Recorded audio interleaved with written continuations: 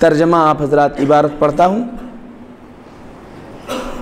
काल अली नबी सल्लल्लाहु अलैहि नबी सल्लल्लाहु अलैहि वसल्लम या अबा दर्रिन अगज्जरतहु बिउम्मी इन्नक इमराउन फ़ीका जाहिलियतुन इख्वानुकुम खौलुकुम जअलहुमुल्लाहु तहत अयदीकुम फमन कान अखूहु तहत यदिही फल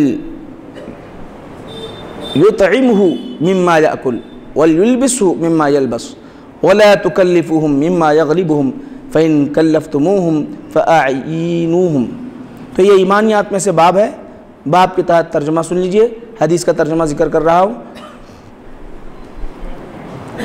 नबी पाक सलाम ने हज़रत अबू ज़र रदी अल्लाह तु से बयान किया बयान किया हुआ ये था कि अपने वो ग़ुलाम को उन्होंने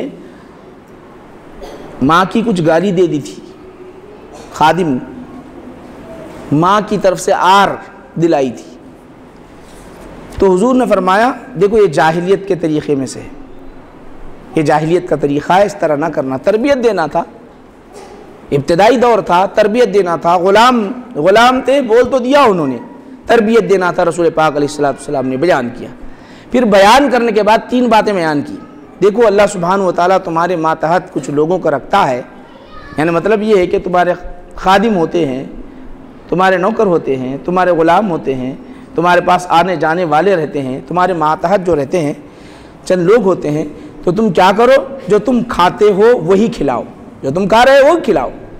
और जो तुम पहनते हो, वो पहनाओ। और तुम उन पर इतना बोझ न डालो कि वो बोझ उठा ना सके। हाँ अगर इतना बोझ डालते हो फ़ैन कल्लफ तुम फ़ाइन तो तुम उनकी क्या करो? इतना बोझ डाल रहे हो तो उनकी मदद करो। ये तर्जमा है। नबी पाक सलाम ने शाद पर में पहले माँ का आर न दिलाना अब गाली देते हैं। एक हदीस में आता है, नबी पाक सलाम ने शाद फरमाया लोगो, देखो तुम अपने माँ बाप को गाली न देना। शाहबार्ज करने लगे, या रसूल्ला कोई ऐसा शख्स है अपने माँ बाप को गाली देगा? या रसूल अल्लाह मुमकिन है ऐसे कि कोई अपने माँ बाप को गाली दे? तो हजूर नबी पाक सलाम ने शाह में हाँ मुमकिन है। वो कैसे या रसूल वसल्लम? वो इस तरह कि अगर तुम किसी के माँ बाप को गाली देते हो तो फ़ौरन वो क्या करता है? तुम्हारे माँ बाप को गाली दे रहा है। सबब कौन बने? तुम उसके माँ बाप को गाली देने की वजह से सामने वाला तुम्हारे माँ बाप को गाली दे रहा है। सामने वाला तुम्हारे माँ बाप को गाली दे रहा तुम सबब बन रहे हो गाली देने के लिए। तो इस तरह किसी के माँ बाप को गाली न देना। हम आसानी से यहाँ तो मामला अजीब सा हो गया है। मामला ऐसा हो गया कि हर लफ्ज पर माँ के सिवा और कोई जुमला नहीं निकलता नौजवान। तरबियत। माँ और बाप। माँ, फला माँ, फला बाप फला बाप, फला माँ। अफसोस की बात है। हुजूर ने शाह फरमाया जाहिलियत में से है। जाहिलियत के दौर में से है। जाहिलाना तरीका है।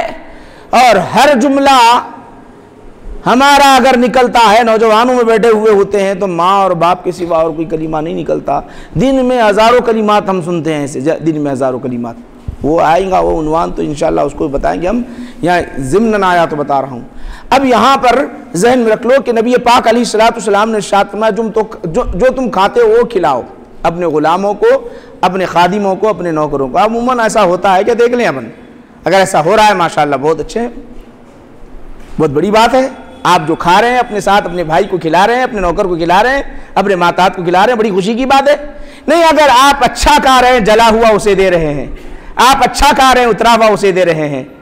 आप अच्छा कह रहे हैं, बासी उसे दे रहे हैं। तो समझ लो कि यहाँ ईमान की कमज़ोरी है। समझ लो कि ईमान की कमज़ोरी है। ईमान की कमज़ोरी है।